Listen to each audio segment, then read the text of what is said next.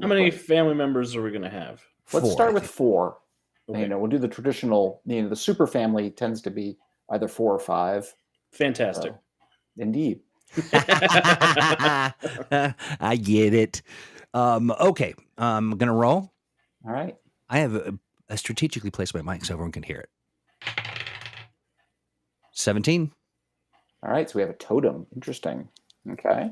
Okay. Um, I am. Are, was it one of you write this down? I got it. Okay, great. And eighteen. A warrior.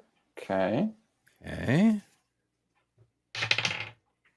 Twenty. Weather controller. All right.